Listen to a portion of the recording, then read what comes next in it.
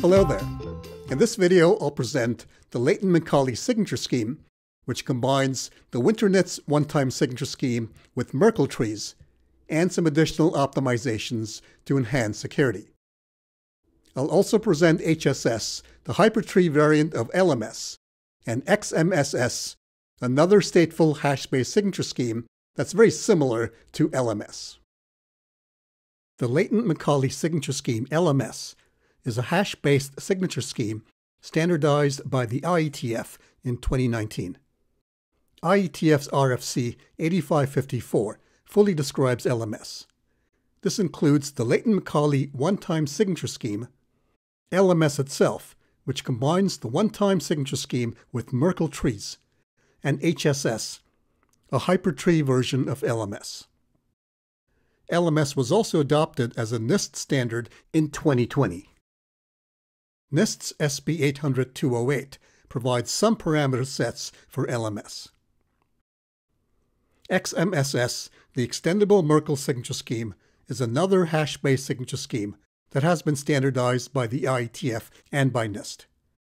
XMSS is very similar to LMS. The Leighton-Micali one-time signature scheme is essentially a modified version of Winternitz OTS. It uses the same parameters as Winternitz. h is an n-bit hash function.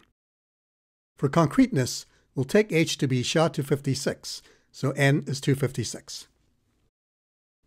In SP 800-208, the Winternitz parameter w is restricted to values 1, 2, 4, or 8. This means that hash chains have length 1, 3, 15, or 255 respectively. L1 denotes the number of W-bit blocks in a hash value. L2 denotes the number of W-bit blocks needed for a checksum. Recall that the checksum of a hash value h is defined to be the sum of the terms 2 to the power w minus 1 minus hi, where the hi are the w-bit blocks of h. Finally, the total number of hash chains is denoted by L. L is the sum of L1 and L2. Here are the key differences between LMOTS and the Winternitz OTS. First, the public key in LMOTS consists of the hash of the final hash chain values y0, y1 up to yl-1. Since these final hash chain values can be derived from any signed message, the signature verifier can always reconstruct the public key k during signature verification. Second, LMOTS uses a single n-bit hash function h, which is also shared with LMS and HSS. A third difference is the use of unique prefixes in hashing operations to support security proofs. These prefixes ensure that each hash function invocation remains independent. The prefix includes a randomly selected 32-byte identifier string i of the Merkle tree associated with the LMOTS instance. A 4-byte number q that identifies the Merkle tree's leaf associated with the LMS OTS instance.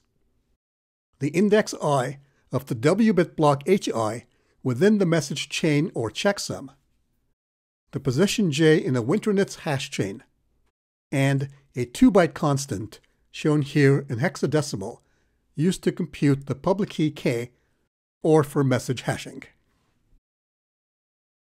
The fourth key difference between LMOTS and the Winternitz OTS is that a randomly generated 256-bit string C is appended to the message M before hashing. C is called the message randomizer. This randomizer is included with the signature because it's needed for signature verification. The use of a message randomizer eliminates the requirement that H be collision resistant, since C is randomly chosen by the signer each time they sign a message. Here is a full description of the Leighton-Micali one-time signature scheme. I'll begin with key generation. Alice selects L random n-bit strings xi. For each xi, she computes a hash chain of length 2 to the w minus 1, starting at xi and ending at yi. She computes the hash k of the yi's. Alice's private key is a list of the xi's, while her public key is k. To sign the message M, Alice selects a message randomizer C and hashes it together with M.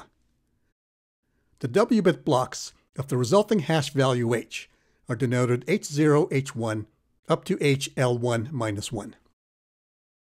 She computes the checksum of H and the W-bit blocks of its binary representation. These blocks are denoted HL1, HL1 plus 1, up to HL minus 1. Then for each W-bit block HI, Alice computes the value SI on the ith hash chain that is distance HI from the starting value XI. Alice's signature on M consists of the randomizer C and the list of SI values. To verify Alice's signed message, Bob hashes C together with M, computes the checksum of the hash value H, and forms the W-bit blocks HI of H and its checksum. Then, for each W-bit block HI, he computes the value YI primed on the ith hash chain that is distance 2 to the power W minus 1 minus HI from SI. Finally, he computes the hash k primed of the yi primed values and accepts a signature if and only if k matches Alice's public key k. LMS uses a Merkle tree of height d, whose leaves are associated with LMS OTS public keys k0, k1, up to k 2d minus 1. So a total of 2 to the d OTS keys. SP 800-208 permits trees of heights 5, 10, 15, 20, and 25. All private keys are generated from a 256-bit random secret seed. Specifically, the ith component of the private key associated with the leaf-numbered queue is obtained by hashing the tree identifier i, the leaf identifier q, the index i of the hash chain, the constant ff, and the secret seed. The nodes of a Merkle tree are numbered sequentially from left to right and top to bottom. So the root is assigned number 1. The left child of a node i is assigned number 2i, and the right child of node i is assigned number 2i plus 1. Thus, the leaves of a height d tree are numbered from 2 to the d to 2 to the d plus 1 minus 1.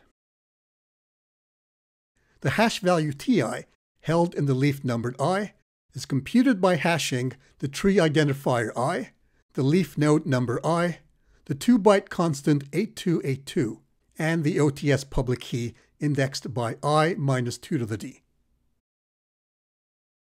The hash value ti, held by an internal node numbered i, is derived by hashing the tree identifier i, the leaf node number i, the 2-byte constant 8383, and the values of the two children, namely T2i and T2i plus 1. The long-term public key for the Merkle tree is the root hash value T1. The enhancements introduced by Leighton and Micali to their signature scheme, including the use of unique prefixes for all hashed data, enables a formal security analysis of LMS. In 2016, Katz proved that LMS is secure in the random oracle model, where the hash function h is treated as a public, randomly selected function. Later, in 2018, Eaton proved LMS secure in the quantum random oracle model, where adversaries can make queries in superposition to h. This provides assurance against certain kinds of attacks that might be plausible in the world of quantum computers. The hierarchical signature scheme HSS is the hypertree variant of LMS. HSS is fully described in IETF's RFC 8554.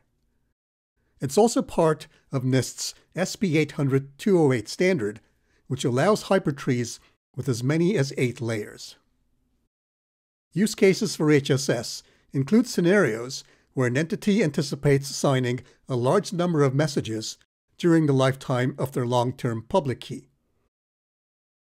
Or if the entity needs to delegate signing privileges to two or more cryptographic modules while reducing the risk of OTS private key reuse.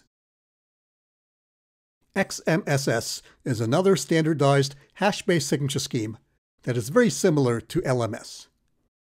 Like LMS, XMSS is built on the Winternitz OTS and employs Merkle trees. The main difference between XMSS and LMS is the use in XMSS of bit masks, which are XORed with hash function inputs. These bit masks enable security proofs for XMSS without needing to model the hash function as a random oracle. The hypertree variant of XMSS is called XMSS multitree. Both XMSS and XMSS multitree are fully detailed in IETF's RFC 8391. Additional parameter sets are provided in NIST's SP 800-208 standard. LMS and XMSS are classified as stateful signature schemes. A signer must exercise great caution to avoid reusing any of their OTS private keys associated with their long-term public keys. To enforce this requirement, the signer could keep track of a counter or index that increments after each message is signed. This type of data is called state. However, maintaining state securely in practice can be challenging. For example, if a system crashes and is restored to an earlier state, then an OTS private key might be reused and security would be compromised. So stateful signature schemes are only suitable for applications where state can be reliably managed. For example, to authenticate software updates where signing is quite infrequent. In the next video, we'll explore the core concepts behind SPHINCS+, a hash-based signature scheme that is stateless. SPHINCS+ has been standardized by NIST as part of their post-quantum standardization efforts.